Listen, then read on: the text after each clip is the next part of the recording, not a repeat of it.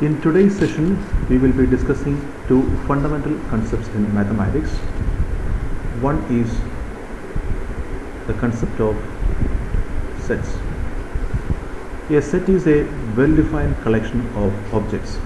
So, the main important thing about set is that given a set, given an element, we must be able to say without any doubt that whether that element belongs to that set or not. Some of the familiar sets that we will be using throughout our course is a set of all natural numbers which is equal to 1, 2, 3, etc. Uh, the set of all rationals, the set of all integers of course, the set of all real numbers, etc. Now, whenever we talk about uh, sets, it is always a good idea to talk about the universal set of which the given set is a subset. This is to avoid certain confusion regarding taking um, some um, performing certain operations on these sets. Suppose that A and B are both subsets of some universal set U. Now, two sets allow us to perform two fundamental operations on these two sets. The first operation is A union B, which is again a subset of U consisting of elements of the form x where x is in A or x is in B. Remember that in mathematics or means that it can be in A, it can be in B or it can be in both. Unlike in English language where most of the times or means that it has to be either A or it has to be in B. It cannot be in both in the usual English sense but here it is not like that. Now the intersection of two sets is defined to be again a subset of U where x belongs to A. Now here it is a little bit more stronger and x belongs to B. Another um, uh, operation that we can perform a, on, on a single set is known as complementation. A complement in U is equal to the set of all x in U but x not in A here uh, the most important thing about uh, complement is that you have to be always careful about what universal set we are choosing. For example uh, suppose that we are taking um, set of all suppose that we are taking a to be equal to 1 2 3 and suppose that u is equal to set of all natural numbers then in this case a complement is going to be nothing but 4, 5, 6, etc. But suppose that you are choosing u equal to set of all integers, then a complement is going to be equal to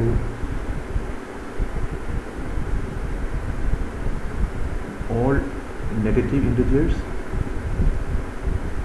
4, 5, 6, etc. See the difference between these two.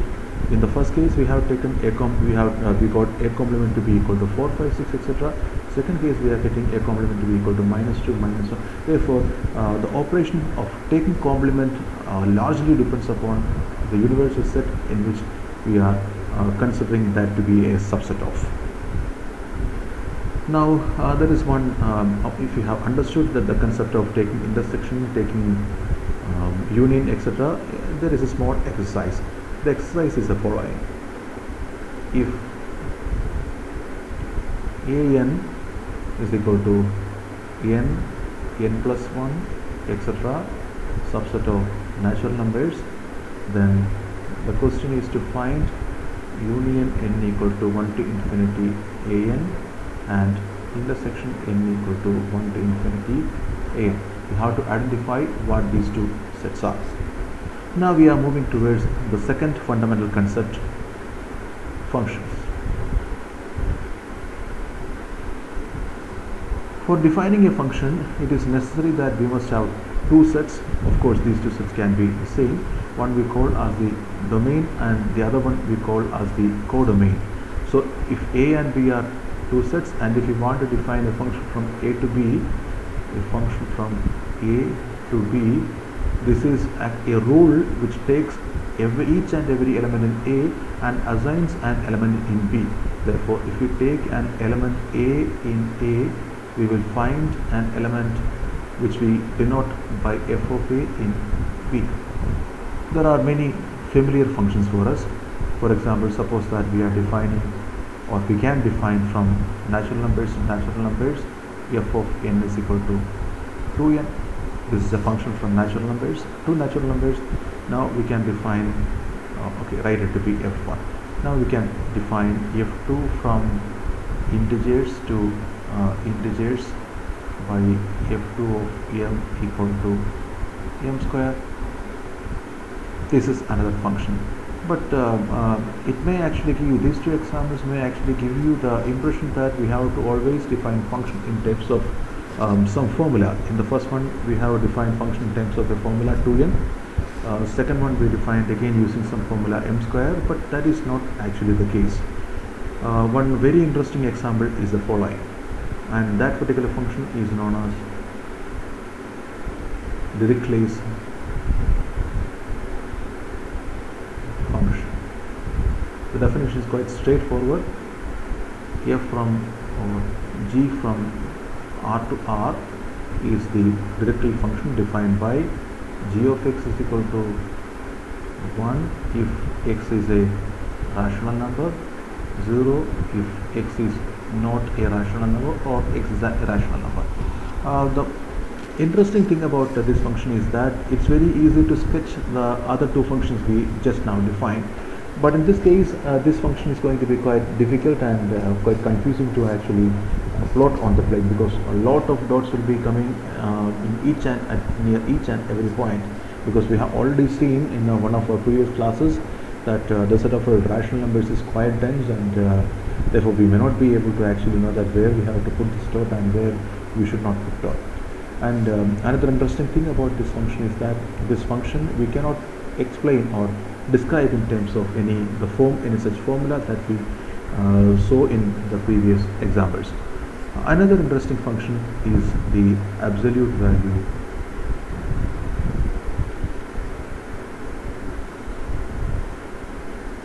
Function again the absolute value function is again defined on the set of all real numbers it is defined like this.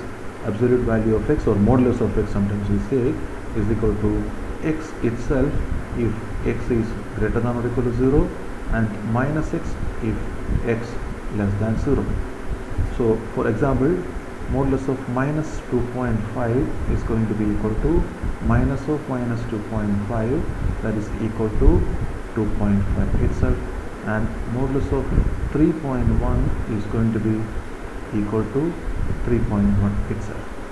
So this is the definition of the absolute value function. This absolute value function is one of the most important functions that we will be using in uh, real analysis class. We will be next deriving an identity using the absolute value function. The identity we promise to derive um, is known as triangle inequality.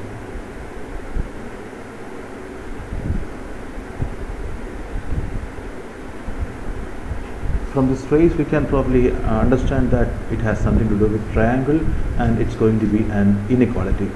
So uh, both these things are actually true. We will make the statement first.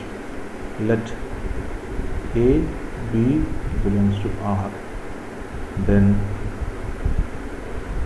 modulus of a plus b is going to be less than or equal to modulus of a plus modulus of b. So what we are claiming is the uh, the sum of ab then modulus taken is going to be always less than or equal to taking the modulus and then adding a and b. So uh, for proving this we initially try to establish some other small identity. We claim the following. For A belongs to R, if A belongs to R, then we claim that A is going to be less than or equal to modulus of A. We divide this into two cases. What is the first case? The first case is that A is greater than or equal to 0 but according to the definition of the absolute value function, a greater than or equal to 0, then modulus of a is nothing but a itself. Therefore,